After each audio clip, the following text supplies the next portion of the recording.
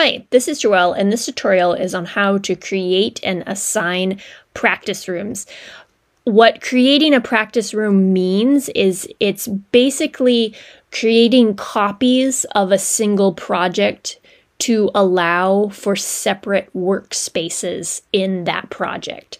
This is of a, a single project Allegretto that has many different practice rooms. So how I've set this up is that I've created one set of reference tracks and then assign them to all of my different students so that they can have a separate place to work.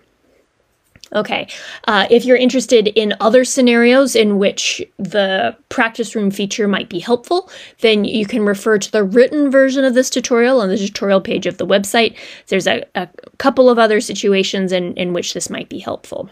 But basically, that's the gist of it. Okay, so uh, let me show you actually how to do this. So let's create some practice rooms in this piece, Crazy Chicken Dance. So once I open the project, then I can go over to the gear icon and come down here to administrate. And let's say that this is a this is a viola duo piece. And let's say that I have four students and student 1 and 3 are working on the viola 1 part and student 2 and 4 are working on the viola 2 part. And I want them to be able to practice this together. So what I'll do is in this manage collaborators box, I'm going to put student 1's Google account address I'm just making this up, obviously. I'm going to put them in room one. And then student two, oops, I'm also going to put them in room one because remember, they're working together. Student three, I'm going to put them in room two. Along with student four, because those two students are going to work together. Okay, so now I'm going to add the collaborators. And of course, I was making up all of these addresses, so the project isn't actually shared with any of those made up addresses, which is why I get this message.